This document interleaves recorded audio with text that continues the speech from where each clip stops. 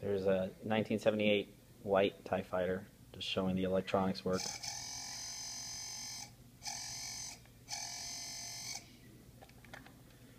You can see it's really good shape.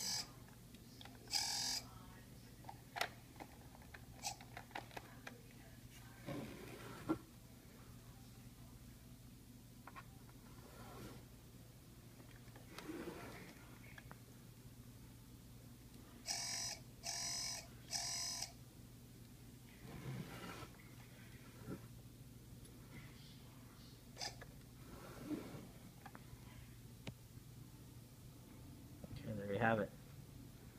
1978 white TIE fighter.